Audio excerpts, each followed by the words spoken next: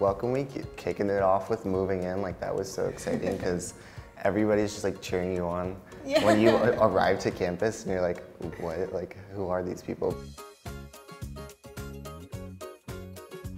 You don't need as much stuff as you think you do. Yeah. I brought way too many clothes. Um, yeah, I just packed my whole house. like, I have like five outfits and that's it. Pack light.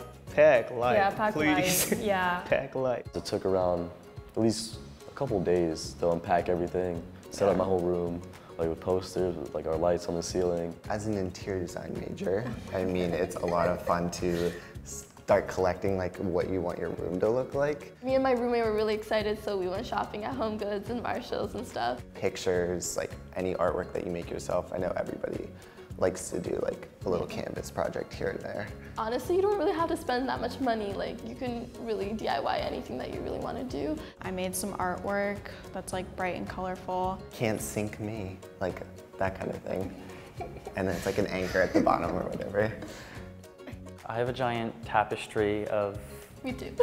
Philadelphia. It was really nice having that independence when I came here, um, but it was pretty hard saying goodbye to my family. Uh, she left and I cried.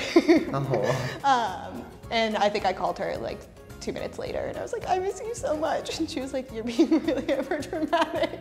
You? Me, over dramatic. I was more excited rather than like being sad.